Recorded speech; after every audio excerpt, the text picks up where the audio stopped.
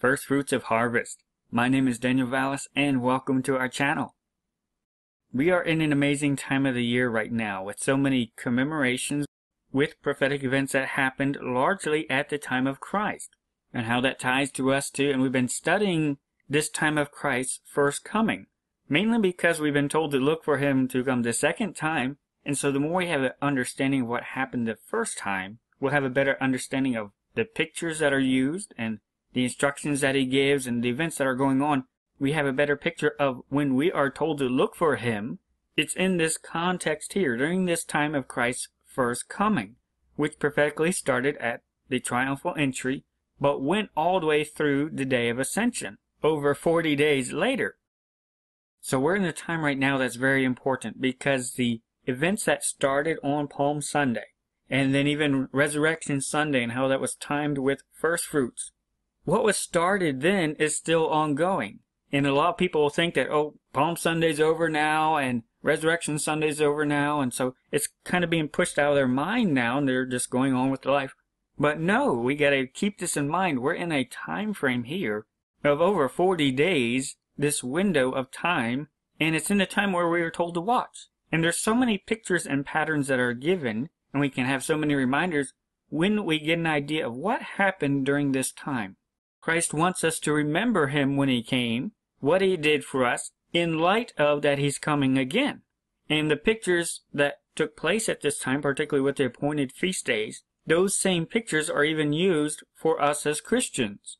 And so it's important that we have an understanding of what are the pictures that are being used at this time, and that gives us a better idea of what's being talked about and why this time frame, even these 40 some days here, are so important.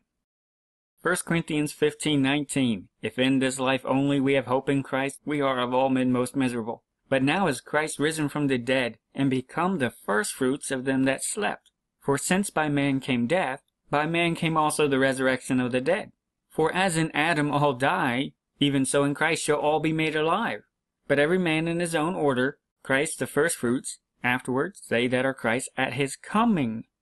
So this is a very important picture, and it can get glossed over, or we could just do a quick study on it. But when the Bible mentions that we who put our faith and trust in Christ, we are likened to first fruits at his coming, this begs the question, do we fully understand what that means?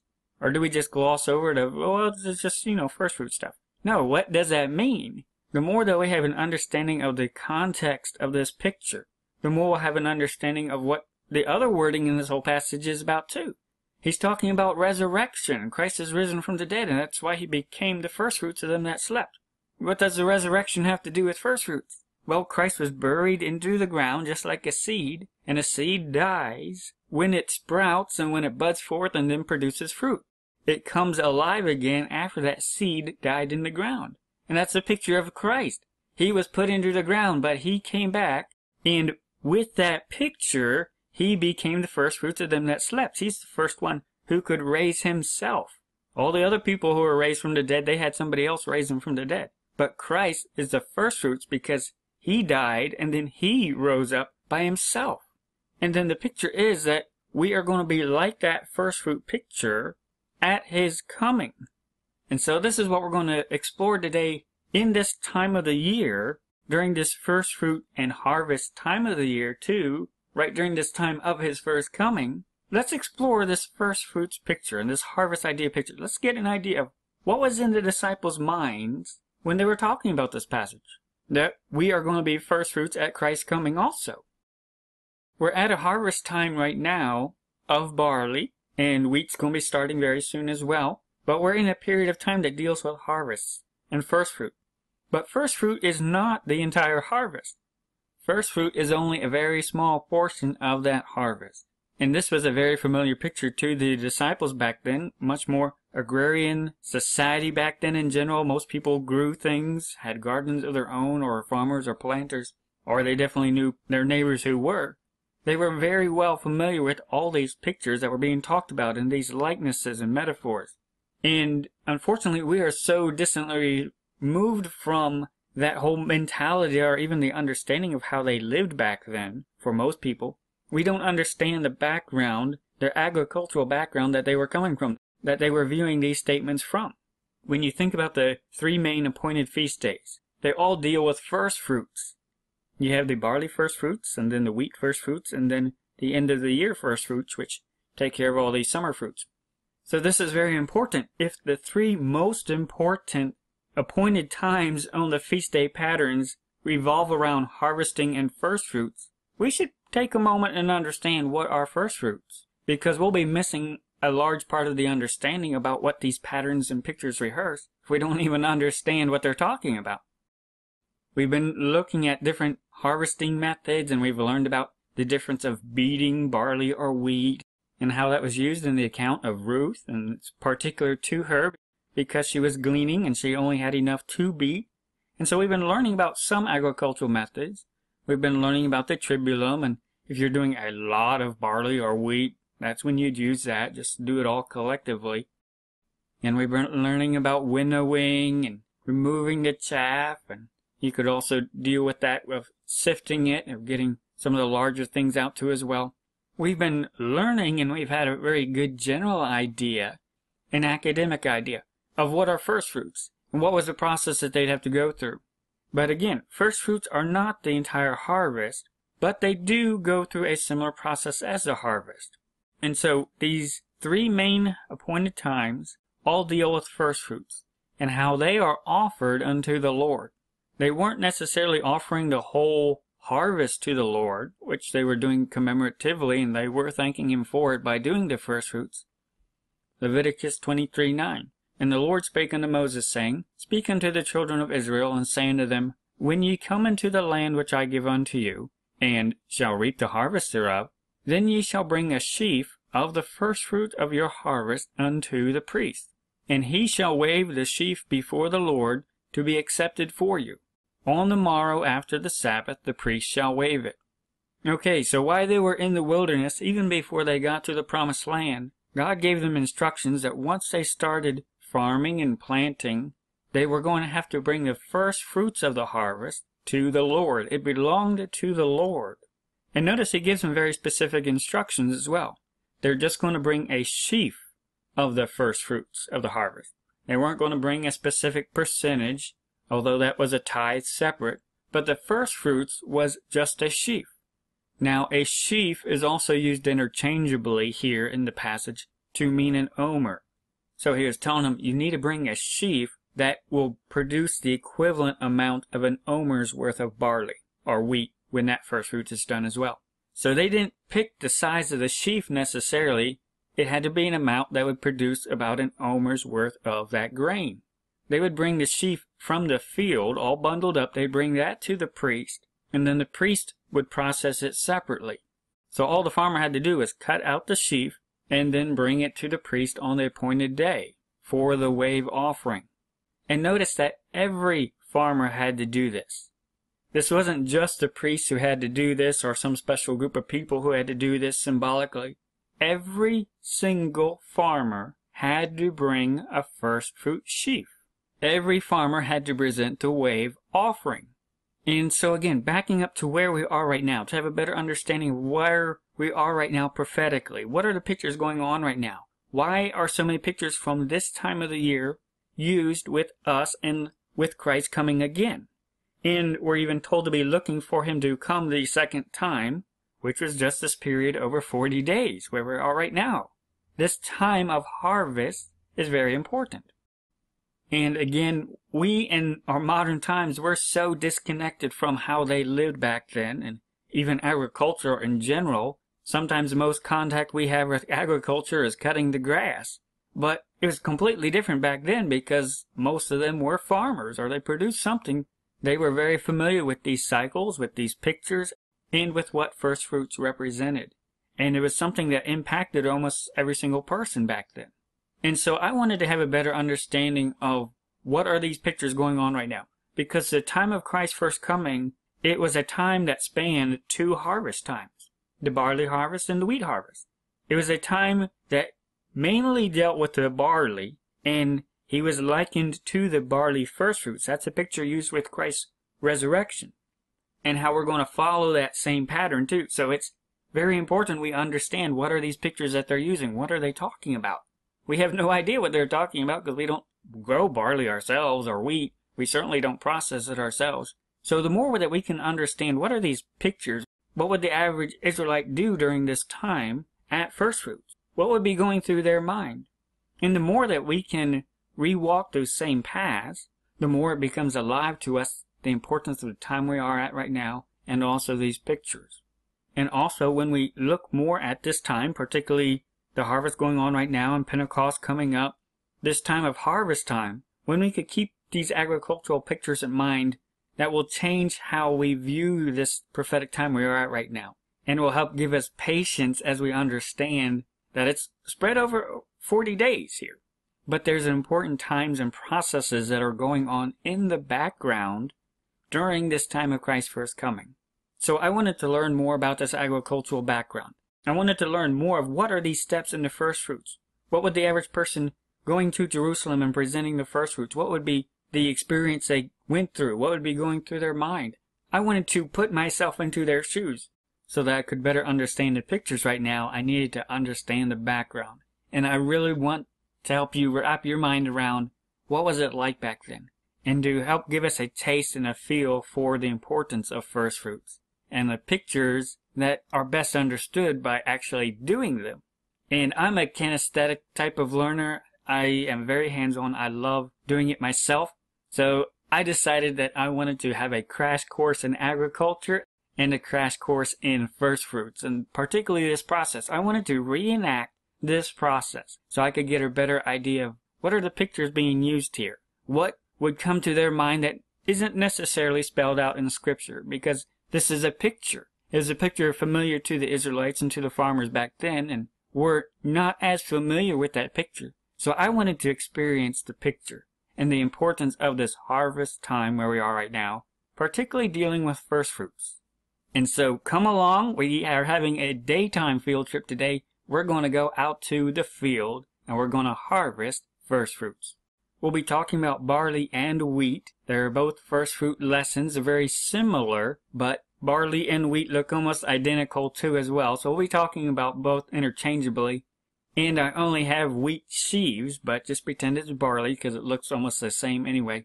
But we're going to be talking about this broad concept of first fruits and looking at the barley first fruit particularly. And God instructed the Israelites that when they came into the land and they planted, that one day they would be bringing the first fruits of that harvest to the priest. And they had to collect a sheaf's amount, which would be an omer's amount, which is 2.3 liters of dry measure. So they'd make sure they gathered and cut enough of the barley, or the wheat later on. They'd cut enough to make sure they had enough for the offering when they got to Jerusalem and handed it over to the priest. Now you need a larger sheaf than what I was able to get, but this gives you an idea of they would cut it, get it all ready, and they would take that sheaf with that omer's equivalent to Jerusalem, and they would take it in the sheaf form. And then in Jerusalem, they would hand it over to the priest as part of their first fruits offering. And again, every farmer had to bring first fruits. So the farmer would hand it off to the priest, and then what would the priest do with it? Leviticus 2.14 And if thou offer a meat offering of thy first fruits unto the Lord, thou shalt offer for the meat offering of thy first fruits green ears of corn, dried by the fire, even corn beaten out of full ears. And thou shalt put oil upon it, and lay frankincense thereon. It is a meat offering. And the priest shall burn the memorial of it, part of the beaten corn thereof, and part of the oil thereof, with all of the frankincense thereof. It is an offering made by fire unto the Lord. And so here are the instructions for the priest of how to take the first fruits and turn it into what's called a meat offering. And so notice the steps here. The corn, the grain, which would cover both barley and wheat at the respective times, that grain, that corn, would be beaten out of full ears. And remember, they only are bringing a sheaf's amount. And so the priest would beat out that corn of that sheaf. They're not using a tribulum for any of this first fruit offering. It's all beaten out. And then once they beat out the grain out of the full ears, which they received from the farmer, then they will roast those over the fire and they'll dry it out that way. And then they'll mix it with some oil and put some frankincense on it. and they will burn a portion of that omer amount that was brought to the priest. So the farmer will bring an omer's amount, but the priest will offer up just a portion of it, a memorial of that part, and they'll offer that on the fire, and they'll burn that with all the frankincense that went with that particular wave offering. They would burn only the memorial of the barley or the wheat first fruits, and the priest would keep the rest of it. So the first step that the priest would do then would they would have to beat it out. They'd have to beat out the corn out of the ears.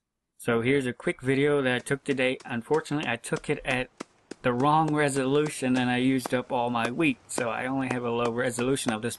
But if you watch closely, you'll see the seeds and the grain falling out of the ears. So the priest would beat it out and they would get the equivalent of an omer's worth for the wave offering. Now, of course, you'd be working with larger amounts, a whole sheaf's amount, so you'd have a lot of stalks and ears left over after you beat out that entire sheaf of it.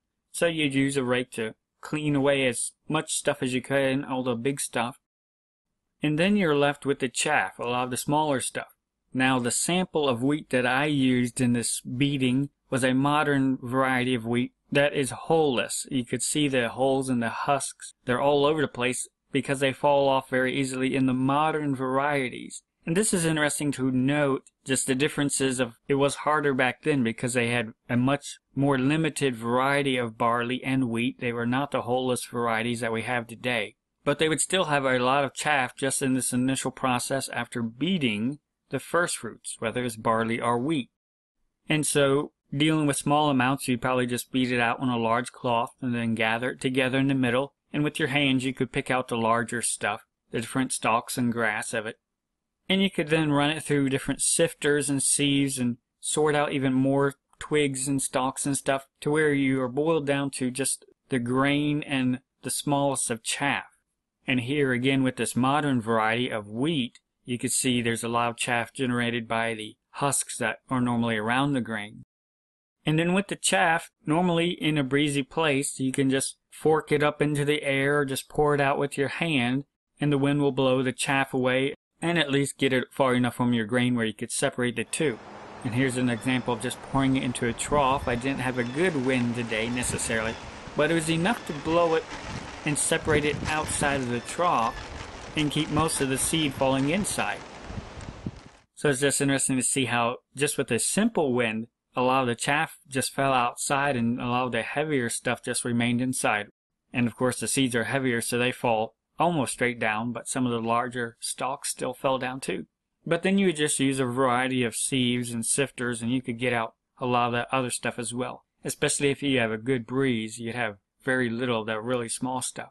But again, this is a modern wheat that I used in this example, and it's just something I found at the floral store. They have different varieties of dried wheat that they use for floral displays, so that's what I used. But I was able to find some barley, and this is unique because this really opens up your eyes to how difficult the agricultural process was, but then also the type of food that they ate. And remember again, going back to what the farmer had to bring, they had to bring a sheaf, which is an omer's amount of dry barley. They had to bring that much to where the priest could process it and get an omer's amount of barley here at this first fruit time which is again 2.3 liters of barley. And barley is interesting because there are hulless varieties today, but general and especially back then, they only had a hulled variety. It has a little wrapper on every single piece of grain, and they're often called spikelets when they're stored this way. And especially if you're going to be storing it for a long time in granaries or whatnot, you would store it in spikelet form with these hulls still on it. And here's a close-up of it where you can see they have all that fiber all around it, that little husk right around each one. And so what is needed to do is dehull the barley. That's another step if you were going to eat it. And here's a close-up difference between barley that's in spikelet form with the husk still on it and on the right barley that's had the husk removed. And this is not necessarily an easy process as I found out and that's one neat thing about actually doing it and going through these processes is you really get in mind the idea of what was involved in making a meal or making barley bread, which was a very important staple, especially for the poorer people back then. barley was very, very important. And they only had this whole variety. So it really gives you insight into the diet that they had back then, but then how they lived. So it really helps wrap mind around when we can go through these different processes and learn more about them. But there's different ways to dehull them, and especially today in our modern time, there are machines that do it. But back then, of course, you had to do it manually. And one way you can do it, it's labor intensive no matter which way you do it. But one of the main ways and easiest ways to do it is you just get the grain wet a little bit. And just soak it for a little bit to where the husks get wet. And then you start pounding it in a large mortar and pestle, usually something very big. And that just makes the wet skins slide right off as you pound it because the grains are still hard enough. And it just peels off like the dry skin on an onion sometimes. And as you pound it, you can see the skins are coming off.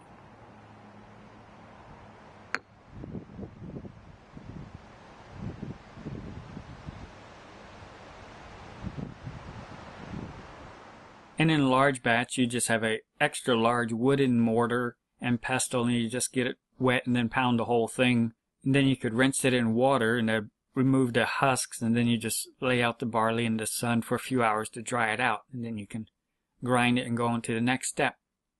And so the barley that the farmer was bringing, or the wheat, all of it would be hulled or have some type of husk on it.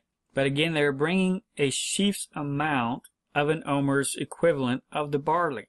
They would bring the sheaf, the priest would process it, beat it, the priest would then have to winnow it, remove the chaff, and then prepare the meat offering, the form of it, that God instructed them at. So there's all these steps that the Israelite farmer would observe when they went to the temple. And we're not familiar with these because we're not normally standing there in the temple while they did it. And obviously they don't have the temple anymore. But this is what the average farmer observed every single year at the appointed times. How the priests handled the first fruits, these steps that they went through. So after they beat out the omer of barley, then, like the instructions say, they would roast the corn of it. They had a large copper brazier at that time that they would parch the barley in, much larger than the one that I have.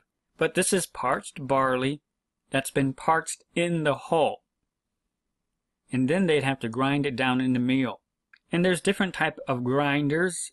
The one in the Middle East there is called a quern, and very similar to the Mexican metate that I have here. Very, very similar, so there's not much difference. They all work the same way. And so I tried both ways, and really there's almost no difference of if you grind the parched barley with the hulls on or if you don't. But if you grind it with the hulls on, you obviously have a dirtier flour. You have a lot more fiber in it, a lot more fiber. And doing some research on the barley first fruits offering when it was offered as a meat offering, I was wanting to find out did they dehull the barley or not, and it appears that they did not. They just roasted the barley whole and then ground it without processing the hulls at all. And it just makes for a coarse flour, but then you would just run it through sieves and that would make the fine flour. And then they would mix it with the other ingredients. And this is also what I noticed with the reenactments that the Temple Institute did with other groups there in Israel this year and even last year. When they harvested the barley, they sifted it out and winnowed it and got all the chaff out. But then they were left with the hulled barley the spikelets, and that's what they roasted in their reenactment. And so they didn't bother to dehull it, they just roasted it right away. And then they sent the roasted hulled spikelets through the grinder. So this seems to match up with what I've read so far and seems to be the understanding that they just ground it with the hulls still on it. And in the reenactments that they did, here are different volunteers that they used who would sift down that coarse flour run it through different sifters and sieves of different degrees, and that would eventually get them down to a fine flour that they would use in their offering.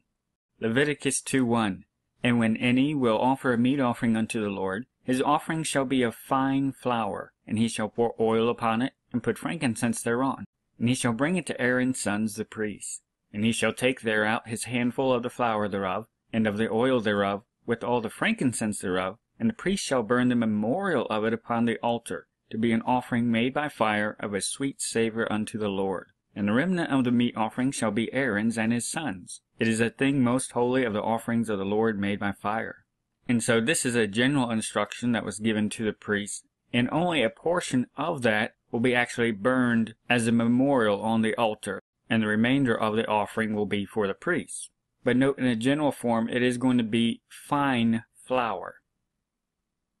But this is what the ground barley first fruits would look like.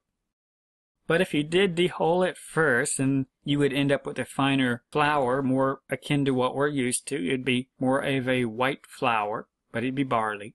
And again, keep in mind the priests are the one who are processing it here. So it's very busy there in the temple courtyards at the first fruit offering. It's not just a single offering going on ceremonially. No, it's every farmer in Israel showing up and offering their first fruits offering. And grinding is quite a bit of work, but if you are used to it, it's not as bad, but still, that would be a lot of work on that day all of a sudden associated with first fruits. And grinding the dehulled barley definitely makes for a much cleaner flour. And just doing a quick comparison just to give you an idea of it, and the picture really doesn't do it justice either. But on the left you see a wheat flour that's store-bought and all-purpose, that's what we're familiar with and that's ground really fine. And in the middle, you see the barley flour that was ground on the metate, which is very similar to the grinding method that they had then, too. But that was unsifted there in the middle. But they could sift it through cheesecloth, and they had a variety of different sifters to where they could get it down to a fine flour.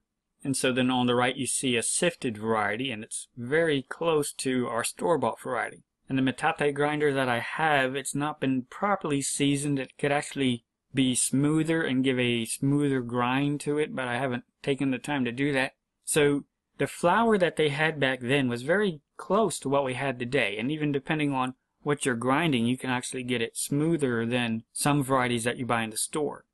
But this just gives you an idea of this is what the priests were doing on first fruits offering day. And then once they ground down that barley or that wheat for that particular respective first fruits, they would then have the flour of it, and then they would mix in the oil, and then put frankincense on top of it. And these were the instructions after they went through all that processing before. And then they would wave it before the Lord. They would typically wave it left to right and then down and up. And that was a presentation of that first fruit offering from the farmer after went through all those processes and now they were offering that first fruits to the Lord. And then the priest would take a portion of that, a memorial, typically a handful of that, and they would put that onto the altar with all of the frankincense that went with that offering. And that was a wave offering. The wave offering done for every single farmer who brought a sheaf of their first fruits. Multiple steps involved, but every single farmer had to bring one. And here's the Temple Institute rendition where they show the priests beating out the barley and processing it, getting out the chaff, winnowing it, and then they would roast it and then grind it, and then that's what they would then mix with the olive oil and the frankincense and put that in the wave offering. On the farmer's end, so to speak, there wasn't that much involved. He had to bring a sheaf's worth of first fruits to Jerusalem, and then he would hand it off to the priest, and then he would basically watch them do it. Beat it, thresh it, winnow it, roast it, grind it, mix it, and then offer it. So a lot more processes on the priest's end that took place at the temple during first fruits. But the farmer would see the first fruits offering presented to the Lord, and that's the whole picture of it. Every farmer would present the first of their harvest to the Lord. It belonged to him. This wasn't a voluntary offering. It belonged to the Lord. And so now that we have an idea of what happened on First Fruits Day and a better idea of what went on during the harvest time, let's take a look at the overlapping harvests and the overlapping first fruits that happened in this window that also happened to be when Christ came the first time and this period of over 40 days where we are right now. What pictures, what processes are going on in the background that the disciples, the apostles, and the average Israelite fully understood and did not think twice about. We've been learning about the barley harvest because that's the one that matures first. That's really the first fruits of first fruits. It's the first thing harvested every year. And we learned that Ruth arrived at the start of the barley harvest. And so she's tied toward this important time when all the farmers are getting ready to take their sheaf to Jerusalem. And remember, where was Bethlehem? Just up the road from Jerusalem. So keep all these agricultural pictures in mind with Ruth arriving at Bethlehem at the start of barley harvest. Because remember, first fruits wave offering was right at this time as well, and is right at the start of the barley harvest. And God instructed them that the count that would count down to Shavuot, Pentecost, that began at this time when the sickle is put to the corn. So the exact same time that the barley harvest is starting, the exact same time that the farmers are gathering their sheaf to take to Jerusalem for the first fruits offering, that's when Ruth arrived in Bethlehem. And like we learned about, they would bundle them into sheaves and then they just stack them against each other so that they could dry out, so the grain could dry out, so the stalks could dry out. It just makes it a whole lot easier when you process it later if it's dry. It just helps the corn to fall out of the stalk and out of the ear a whole lot easier. And it also gets it ready for storage. You don't want any moisture in it at all when you put it into storage. And so keep in mind they've offered up the first fruits. And now Ruth is starting to glean after the barley harvest has started. They're stacking up all these sheaves everywhere. She's going around picking and gleaning. She beat it out every day in the even and shared it with Naomi. And so you see two processing timelines. You see barley being sheaved together and gathered together for a later processing, for a later threshing. But you see the picture of Ruth who's having an ongoing processing and threshing by beating it. Almost an identical process to how the priests processed the first fruit offering. They also beat the sheaves just like Ruth. And she did that for the remainder of the barley harvest. And so they were still gathering barley for quite a while after she started. And apparently, in that story particularly, they just saved it up for processing that they were going to do at the end of the wheat harvest. They're just apparently going to do all the processing all at one time. And then there is the wheat harvest, and apparently Boaz had crops of both, barley and wheat and wheat is ready about a month or more later after barley is ready for harvest. So she's been gleaning for a month now of barley and she's been processing it for a month. And now the workers are switching to harvesting the wheat harvest. And again, they do the same thing because they have to dry it out as well, gathering it in sheaves and drying it out and getting it ready for eventual processing.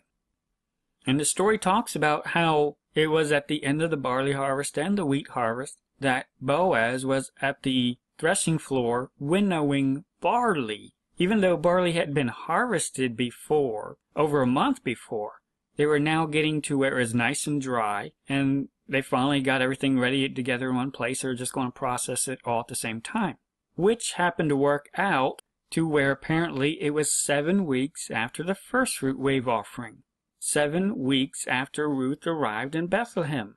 So for seven weeks, she's been gleaning, she's been beating, she's been threshing, she's been winnowing, she's been grinding. She's been staying very busy all during this time, using a different processing method than what Boaz is about to use. And then around the time of Shavuot, and appears like the day or right after Shavuot, when everybody's on the threshing floor, and apparently they've just had a large feast celebrating the first fruits of the wheat harvest and basically celebrating the conclusion of the wheat harvest. That's what it appears to be. That time is when Ruth went and talked with Boaz. That time was the wheat first fruits, which was called Shavuot, which we also know as the time of Pentecost. Now, barley first fruits, that was just a meat offering. They just roasted it and ground it up and presented that to the Lord as an offering that way. Whereas the wheat first fruits, that is made into two loaves. So again, it goes through those same grinding processes and the threshing and winnowing and all that. They'd still have to do that again. And that was done with the wheat at the wheat first fruits for that wave offering. And they would just wave the loaves of bread. Whereas in the barley, they waved the bowl of the meal. And so again, look at this big picture here. The harvests that are going on right now between two important times the barley firstfruits, the wave offering of the Omer, and wheat firstfruits, Pentecost, Shavuot, we're in this prophetic window right now. These are going on in the background. This is the buzz that the average Israel farmer would be doing in their daily life. But then this is how it intersected with the appointed feast days, which were first fruits of what they were doing in their life.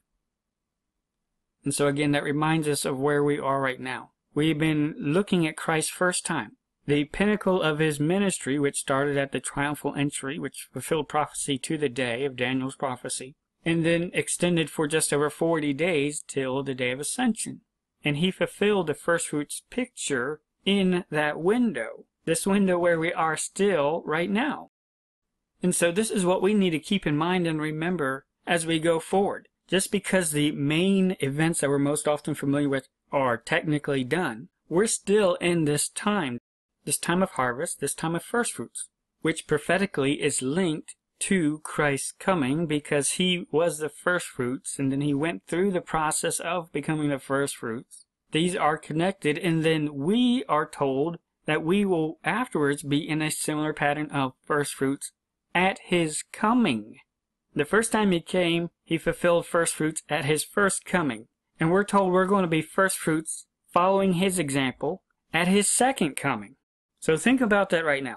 The redemption story and pictures are in this entire time of Christ's first time here. We're in a first fruits time right now when we are told to be looking for him to come the second time. And that we will follow his pattern when he comes. We're in this time right now when he came the first time. We're in this time where he fulfilled this. And so our expectation of redemption is still in this time when Christ came the first time. And we have so many ways we can remember what he did, the picture of us, and remember in light of his coming. Remember when he came at the Lord's Supper is when he gave the ordinance of the Last Supper to help his disciples and us remember him till he comes again. He wants us to remember the first time he came, what he did when he came the first time. He gives us remembrances and memorials and tokens to help us remember this time where we are right now. And the more we consider and keep in mind the agricultural pictures that are going on in the background that they were familiar with, and we consider the timing of what happened in these events in Christ's first time, it gives us an idea of some things he's alluding to. He told his disciples to remember him till he comes at the Last Supper, which was only a few hours before first fruits. And when he made his triumphal entry into Jerusalem, that was only a few hours also before first fruits. And it was also during the time when he told his disciples repeatedly, Be ye ready when I come the second time. Verse 23 But every man in his own order, Christ the firstfruits, Afterward, they that are Christ's at his coming. The dead in Christ will rise. They will follow the firstfruits pattern because Christ rose, because he became the firstfruits. And we will also rise because of him, because of what he did at his coming. The whole idea of first fruits, understanding first fruits, is tied and linked to understanding his coming. And we are expecting him to come the second time. And while the temple does not exist today, and Obviously, majority of us aren't farmers and we don't grow barley or wheat. There is still the spirit of first fruits. Several years ago, I did quite a bit of gardening. I haven't been able to do any lately just because I've been so busy with ministry work, but I have always enjoyed gardening and growing things. I don't like the weeding part, but I do enjoy growing it and getting the first fruits out of the garden. When you put all that work into it, you like to get that first green squash or that first green pepper or that first tomato. And if you've ever gardened, you know that expectation. When you put all that work into a garden, when you work in the soil, and you work in getting out all the rocks and the weeds and you plant everything and you keep watering it and you keep watering it and you water it, keep all the bugs away and you put a lot of work into it and you have this expectation of fruit growing and coming forth. And you see it growing and you are counting down the days, so to speak, of any day now I'll have that first tomato or that first green squash or whatever. You look forward to that first fruit. But here's something to think about. We look forward to that first fruit today because we want to consume it. It's for us. We want that first tomato so we can have our first tomato sandwich of the year. But what is the picture of first fruits? What is the whole concept and spirit behind first fruits? First fruits belong to God. That is the picture.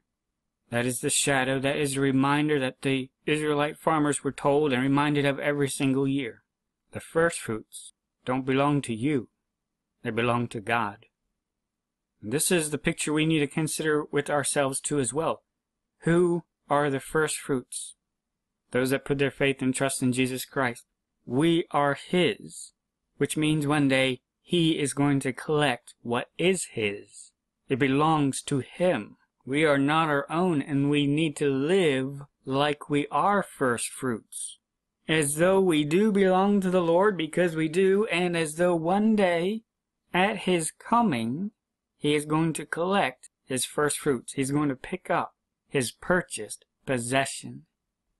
For the grace of God that bringeth salvation hath appeared to all men, teaching us that denying ungodliness and worldly lust, we should live soberly, righteously, and godly in this present world, looking for that blessed hope and the glorious appearing of the great God and our Savior Jesus Christ, who gave himself for us, that he might redeem us from all iniquity, and purify unto himself a peculiar people, zealous of good works. We are redeemed, we are purchased, and because we understand what was done for us, when we put our faith and trust in Jesus Christ, we should live like firstfruits. We should be zealous of good works. We should be following the same pattern of firstfruits, bringing forth fruit in our life. That's what our good works are. It has nothing to do with our salvation. But it is the fruit that's grown in our life because He has redeemed us. We love Him with our life, with our service, with our all. We love Him because He first loved us. How we live in service for Him shows how much we love Him. One day He is coming back, and that is our blessed hope, that is our glorious appearing. We are looking for Him to come the second time to pick up His first fruits, His purchased possession. And it was at this time, after He rode into Jerusalem, His disciples were asking Him when He would be coming.